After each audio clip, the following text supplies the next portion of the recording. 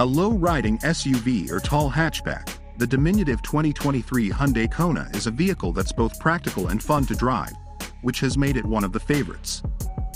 The entry-level engine is a 2.0-liter four-cylinder that produces just 147 horsepower, but the optional turbocharged factory produces some spiciness that's better suited to the Kona's agile handling.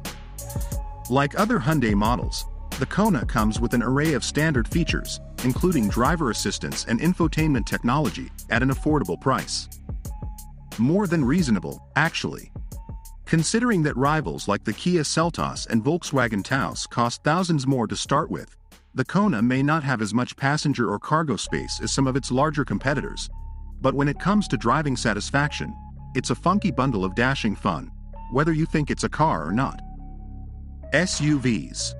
The Kona is getting more of standard driver assistance features for 2023, including blind spot monitoring, rear cross traffic alerts, and Hyundai's Safe Exit Warning System, which watches for approaching cars or bicycles to warn the driver and passengers when exiting the vehicle.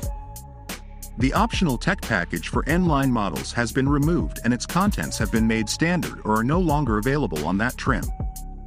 For example, the N-line now gets a larger 10.3-inch sunroof and infotainment as standard, but Harman Kardon stereo and adaptive cruise control are now exclusive to the top-spec limited trim. Two powertrains are available with the Kona model. The SE and SEL come with a 147 HP four-cylinder and a six-speed automatic transmission. This setup can use a large cup of caffeine. In testing, the all-wheel drive SEL model took 9.2 seconds to reach 60 miles per hour. The Limited and N-Line models were powered by a much more powerful 195 horsepower turbocharged four-cylinder engine paired to a 7-speed dual-clutch automatic that did a 60 miles per hour dash in 7.3 seconds in testing. The dual-clutch 7-speed automatic shifts quickly and smoothly once it rolls, but stumbles at low speeds in parking and bumper-to-bumper -bumper traffic, engaging and hesitantly releasing first gear until the driver offers more throttle input. The Kona delivers nimble handling and surprising fun. This doesn't mean a tough ride over choppy roads. In fact, the suspension offers just the opposite, cushioning bumps and providing passengers with a cabin well insulated from pavement imperfections. The steering is perhaps the Kona's biggest dynamic downfall. It's uncommunicative steering which, while unwieldy, requires frequent corrections when cruising on the highway. Hyundai designers managed the tough task of bringing the charm of Kona's exterior design into the cabin while maintaining comfort and convenience. Quality materials, good ergonomics and a comfortable seat feel grown up and refined but not inferior to the Kona's funkadelic exterior.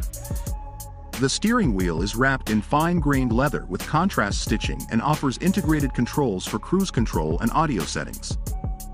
Those upgrading from a hatchback or compact sedan will find the Kona's cargo space to be very suitable, but buyers downsizing from a larger SUV will likely find it difficult.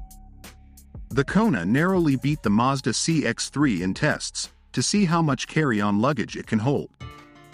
The Kona manages to accommodate 14 carry-on luggage, two more than the CX-3 but eight less than the Honda HR-V.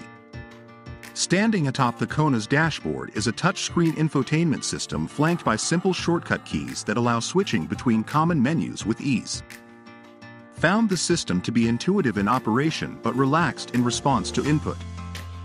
An 8.0-inch touchscreen is standard, but buyers who want a larger screen can upgrade to a 10.3-inch unit driving directions can be projected onto an optional head-up display that flips over from the dashboard and also shows vehicle speed and other information. Apple CarPlay and Android Auto capabilities are standard, with wireless connection for those features available as an option.